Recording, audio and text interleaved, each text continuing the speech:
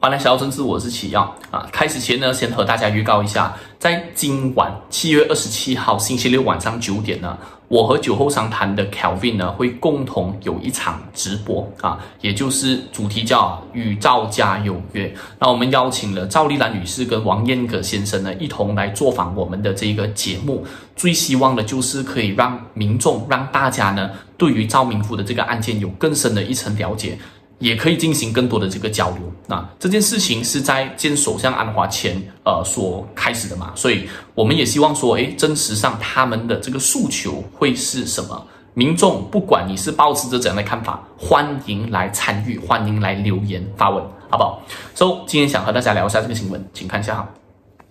啊，其实这个新闻我算是迟到了哈，因为昨天晚上到今天早上我都人不是很舒服，但是竟然做了影片，主要就是我有一些不同的这一个看法啦。OK，所以昨天其实网络上对这个文告呢都已经炒了一波了啊，主要就是我们呢期盼了这么久，关系到华教一眼的这一个文告呢，诶。出来的时候感觉有一点模棱两可，那我就长话短说，其实最具争议的就是第二段的一个词，这个词呢就是叫 member 丁邦干，也就是呢啊，到底这一个教育部啊，他说他要给予这一个我们说呃华小或者是非穆斯林学校呢去进行啊这一个筹款啊，自由的进行筹款，跟任何的这一个商家，包括啤酒商、博彩业商。的这一个东西是已经给予了绿灯啊，让他们直接通过了，还是说第二种说法叫做考虑？OK，主要其实就是网络上大家在朝着到底是哪一个版本。那如果是第一个版本的话 m e m b e r y b a d i n 方案哈。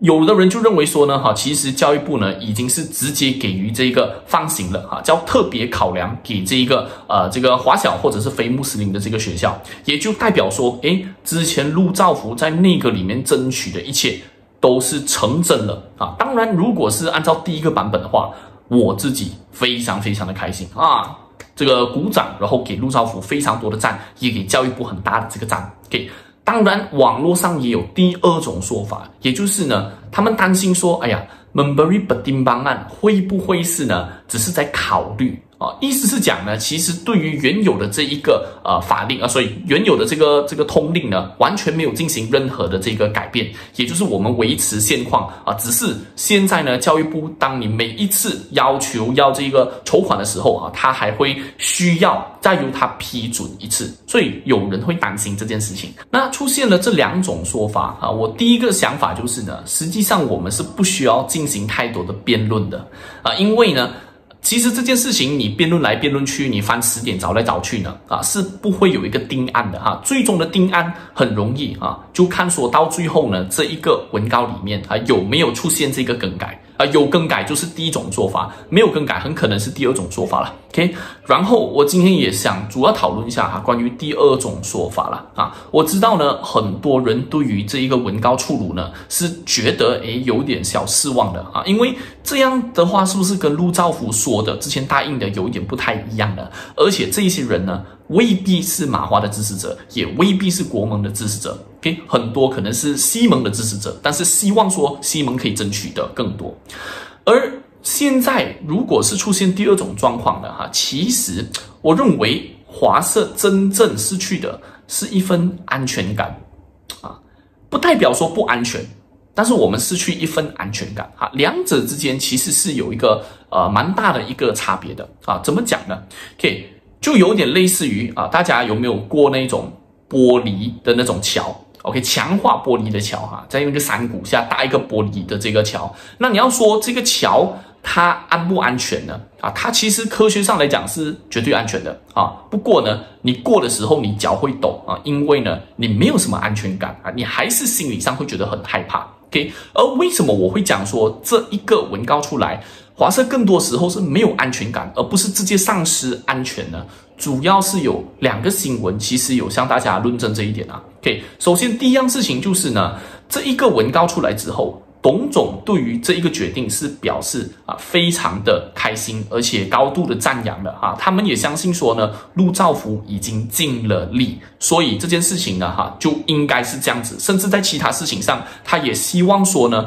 这一个教育部也有相同的这个力度和相同的这种做法。OK，所以意思是讲呢啊，非常照顾我们的这一个华社的董总，其实已经发言表示对这样的做法满意。我认为，换而言之，也就是呢，这整个东西照理来讲，至少是不会出现什么样的改变的啊。如果这个东西其实是有侵蚀到我们华社的利益，如果这个文告出来之后呢，其实会让我们整个华教呢越来越走下坡的话，董总是不会出来赞扬这件事情的。OK，所以我认为可能在私底下呢，啊。已经进行了进一步的这一个沟通啊，我们已经也知道说接下来会发生什么事情，董总才会出来给这个声明。OK，那第二样事情呢，则是我们的副教育部长黄家和呢，也已经出来打保单，讲说呢，下一场的这个义演肯定没有问题，也意思是讲的，之前有的这些啤酒的这些 logo，之前请的这些酒商，全部都不会受影响啊。这件事情很简单的啊。副教育部长呢打了这个保单，拍了胸膛讲了，下一场这个义演也是近期的事情，我们只要一看就知道了。OK，所以目前呢，不管是从这个教育部，或者是从这个董总的这个立场来看呢，啊，感觉一切都会顺利的进行。这就是为什么我讲说，哎，应该是安全的啊。不过。安全感这一回事就不一定是这样的啊，因为呢，实际上华社希望的哈，最要看到的就是呢，你发出来的文稿最好是白纸黑字，直接把这个这个呃原本的通通令啊写下来，然后进行这个修改啊，这是大家最希望看到的这个事情啦。那最后呢，和大家聊一下哈，为什么教育部会发出一个这么模棱两可的文告呢？啊，其实如果你有关注这个马来圈子，尤其是 TikTok 的话呢，你肯定会知道了。OK，我看到其中一篇啊，哈，是这个教育部长的啊一个 TikTok video 啊，关系到华教艺人的，下面呢有八千多个 comment 啊，全部都是在骂他。OK，全部是马来网民在骂他的。OK，so 呃这件事情呢，其实马来社区里面呢，啊就像是这个压力锅这样啊，就是要炸开的。当然一样的。中文媒体这边呢，我也是看到超级多人在骂这一个呃教育部长的啦，所以基本上是两边都吃力不讨好啊，所以没有办法，这个文告呢啊就写成模棱两可，然后感觉两边呢诶都在猜测，然后两边好像骂也不太骂得下去的，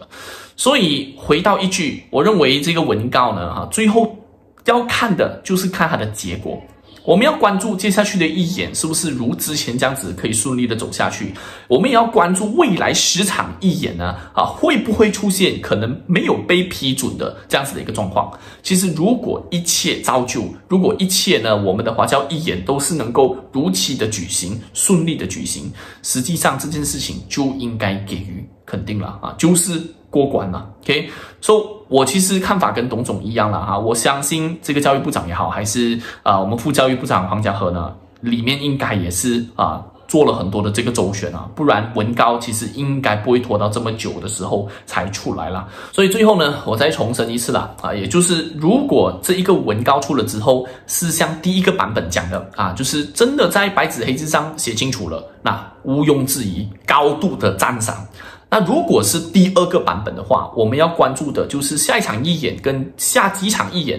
会不会顺利的举行。其实如果顺利的举行的话啊，安全感就会随着你每一次啊都有安全的过关，慢慢的建立起来。OK，这也是我们希望可以看到的一个状况啦。OK，所以这期跟到这边，我们下期见，拜拜。